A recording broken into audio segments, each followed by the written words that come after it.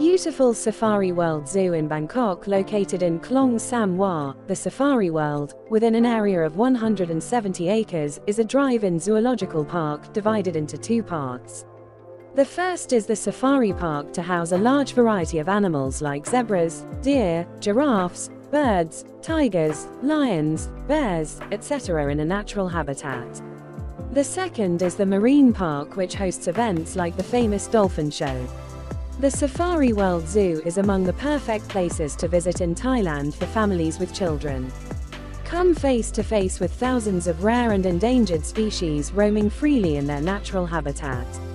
The park provides a coach service for visitors who do not drive in.